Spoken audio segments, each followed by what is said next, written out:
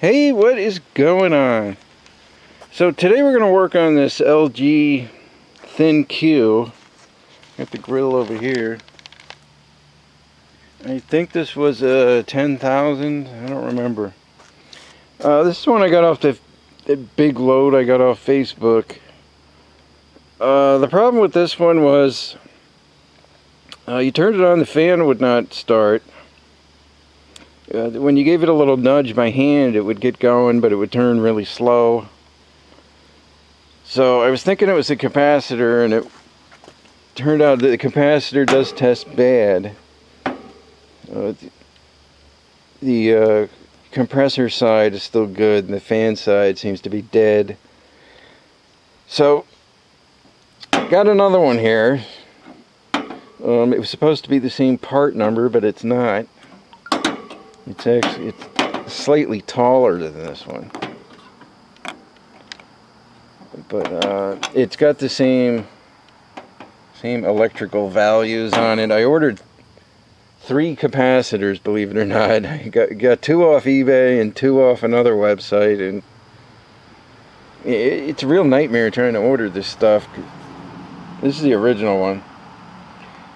Yeah, I couldn't order it, readily order anything that was within 10% of these values on here. It's a 50, 50 slash 6, 270 volt. Yeah, it, real nightmare. A lot of incompetent people selling appliance parts on the internet. So, anyway, I got this one and it seems to uh, test good. So, I haven't actually hooked it up to the air conditioner yet, but anyway we're gonna uh, I'm gonna test it out here for the camera and then we're gonna install it in the air conditioner. So let me set this up we'll come right back. Alright here's the uh, inside of the electrical box. I just thought I'd show this. Um, it's very easy to take the capacitor in and out. On most air conditioners it's very easy. Uh, you just on, on two screws on the top of this uh, capacitor sits in here and the strap goes over it and there's one screw that goes through the strap. So it's very easy to take out and I just marked my wires. So I can put them back together quickly so. Alright so we'll come back. Alright uh, now we're going to test our capacitor. I've already tested this but I'm going to just show how I did it here uh, so we just got a, is a cheap multimeter. I got to set it ohms right here. I've got it at 200k. I think you can set it lower than that. I don't think it, I don't think it's all that important. I don't know. You know, I don't know much about this electrical stuff, so uh, don't ask me too many questions because I probably can't answer them. Uh, so on the capacitor, we've got the C, which is common. We got the fan, which is for the fan, and the HERM, which I believe stands for hermetic compressor. That that runs the compressor.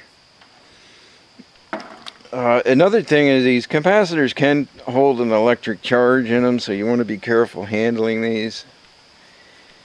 Uh, you want to discharge them. Uh, I'm not going to get into that here, but you, you, you want to be careful handling these capacitors. So we're just going to test between common, common and fan and common and the compressor. So I got the red on the common and that's our compressor. Now the meter's going to slowly rise and then just fall back to 1. That's normal. See? So it that indicates you have a good compressor there. And we'll do it with the fan. And we get nothing. And I'm going to reverse the polarity on these. I'm going to reverse the red and the black and do it again. Sometimes you have to reverse them. And we're still getting nothing. So the fan's definitely dead on this one. There's our compressor again. Compressor side is still good.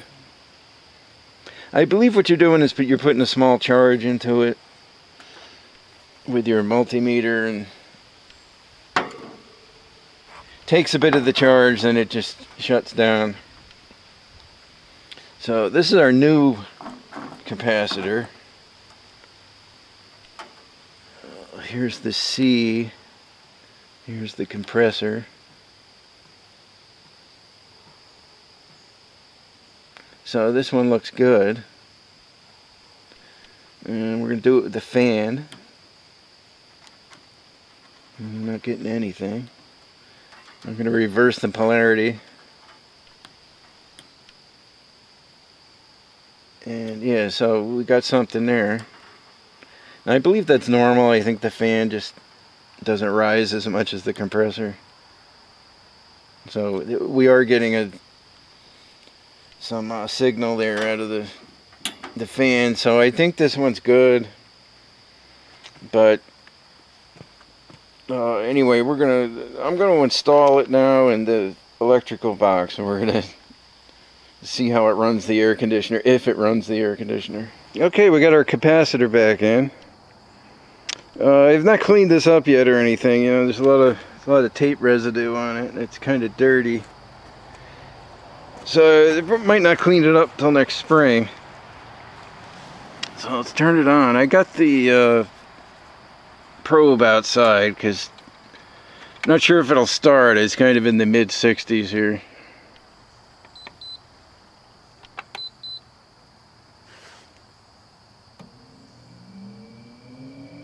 I don't have the grill on all the way either.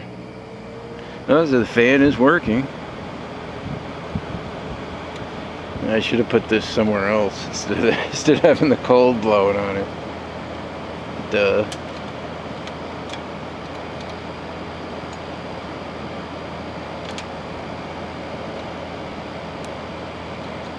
Yeah, I didn't think about that. I'll stick it down here.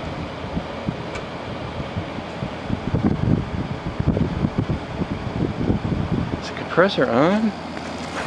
Oh, it is on.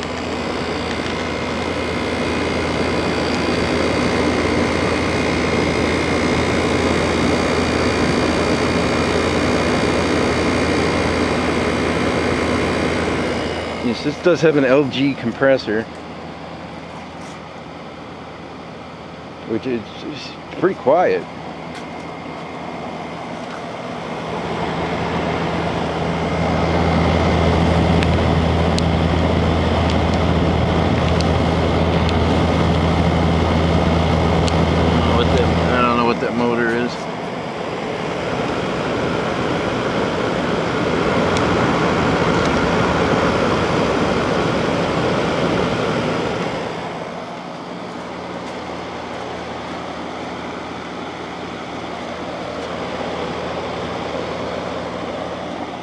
Yeah, it's not very hot here anymore.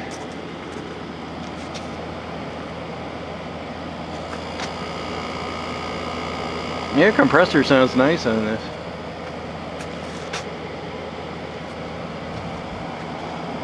Look at the label. Using my other camera now, it's I sort of fixed it. I'm not sure I fixed it properly, but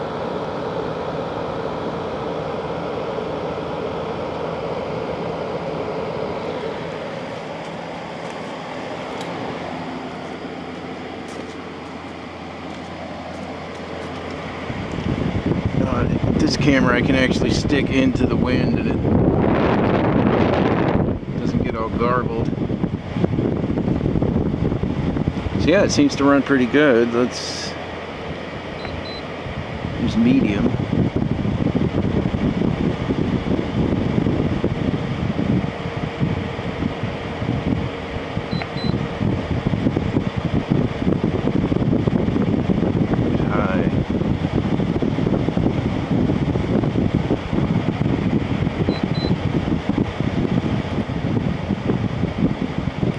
There's not really a big difference in the speed. You, you can, can hear it change speeds, but there's not a big difference there.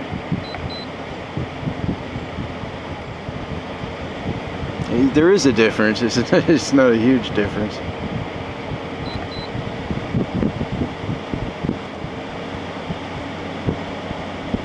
I guess it's alright.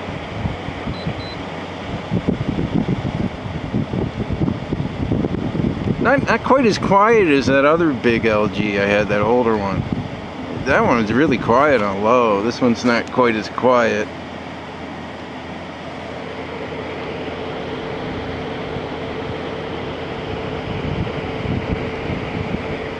Anyway, this does have Wi-Fi.